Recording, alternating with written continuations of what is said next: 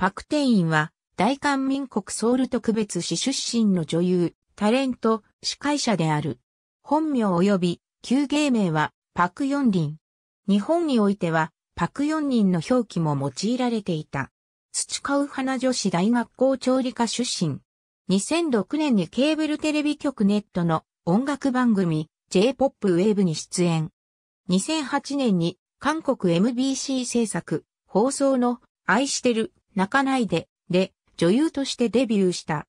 翌2009年には、同名の映画のミュージカル化作品、本当に本当に好きで、主人公役に選ばれた。バラエティ番組や時事教養番組に出演する傍ら、2011年には tvN 制作、放送のバーディバディで記者役、翌2012年には同局制作、放送のイニョン王妃の男で女優役を演じた。2013年には SBS 制作、放送のあなたの女では財閥御曹司の婚約者役を演じている。2014年3月、芸名をパクヨンリンからパクテインに改名した。改名後関陽大学校編入試験に合格して演劇映画科3学年に編入。2016年2月に卒業したことを自らのインスタグラムのアカウントにて公表した。